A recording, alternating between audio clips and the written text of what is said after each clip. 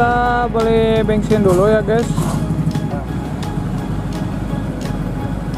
Ini sekitar jam 8 saya masih di Sukabumi ya guys. Menuju ke Jampang Kulon Surade. Karena rumah saya adanya di Jampang makanya ya kita harus gas terus guys. Demi kalian semua guys. Oh ini keren banget guys.